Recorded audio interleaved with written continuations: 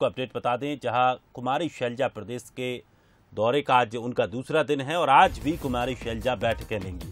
प्रदेश के कांग्रेस महापौर के साथ बैठकें करेंगी। बैठक में आगामी रणनीति को लेकर चर्चा की जाएगी।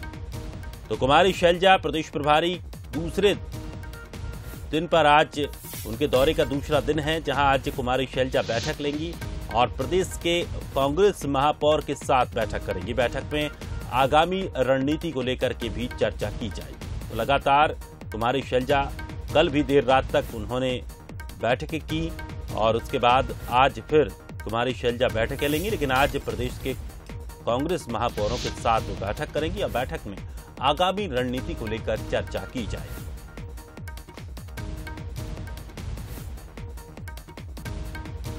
प्रदेश प्रभारी कुमारी शैलजा का आज दौरे का दूसरा दिन है। और आज दूसरे दिन कुमारी शैलजा फिर से बैठकें लेंगी। प्रदेश के कांग्रेस महापौरों के साथ बैठक करेंगी बैठक में आगामी रणनीति को लेकर चर्चा की जाएगी।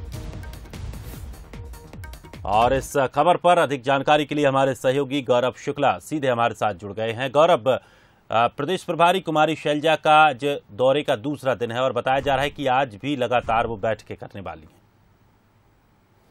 जी, बिल्कुल दिनेश, देखिए, मैं बताना चाहूँगा कि प्रदेश में पूरी तरीके से दोनों ही पार्टी जो है, वो चुनावी मोड पर आ गए हैं और उसी कड़ी में कल एक अहम बैठक जो है, वो कुमारी सैलजा ने ली थी। कल ही वो पहुँची थी दोपहर एक पैंतालीस को और उसके बाद से ही जो यहाँ का विश्राम गृह है, पहुना, वहाँ पर लगातार छः घंटे तक कांग्रेस के नौ मंत्रियों के साथ वन टू वन चर्चा की थी और उनके कामों के बारे में जानकारी ली थी। वहीं पार्टी को लेकर भी चर्चा की थी और देर शाम जो है, वो सीएम हाउस पहुँची थी और उसमें सबसे पहले मुख्यमंत्री से भी वन टू वन बातचीत की थी और तमाम मंत्रियों को एक बार फिर से मुख्यमंत्री निवास बुलाया गया था और तीन घंटे वहाँ पर भी बैठक चली थी। तो आप इससे अंदाज़ा लगा सकते हैं कि कितने तेज़ी से जो है कांग्रेस अब रणनीति तैयार कर रही है और जो कांग्रेस के बीच में मतभेद चल रहा है, उसे लेकर भी चर्चा की गई है और कुमारी सैलजा ने साफ़ तौर पर कहा है कि आप अब आपसी तालमेल के साथ काम करिए। उसी कड़ी में आज कुमारी सैलजा कांग्रेस के तमाम महापौरों के साथ बैठक करने वाली कांग्रेस भवन,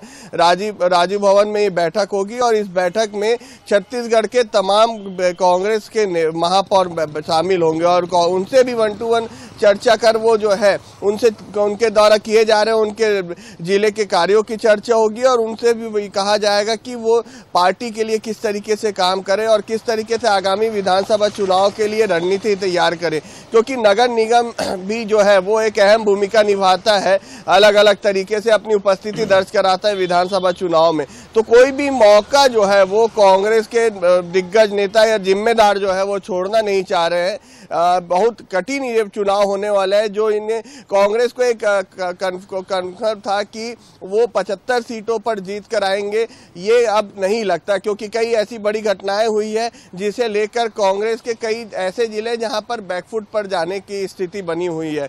तो उस सबको ठीक करने और पार्टी में जो तालमेल की कमी है, उस कमी को पूरा करने के लिए कुमारी शैलजा जो है, वो बैठक लेंगे। आज भी कांग्रेस भवन में ये बैठक होगी। जी दिनेश। चलिए, शुक्रिया। गौरव हमारे साथ जुड़ने के लिए। तो आज फिर से प्रदेश प्रभारी कुमारी शैलजा आज बैठकें लेंगी और बताया जा रहा है कि आज जो कांग्रेस महापौर हैं, उनकी बैठकें होंगी और साफ़ तौर पर आने वाले समय के लिए रणनीति तैयार की जाना है।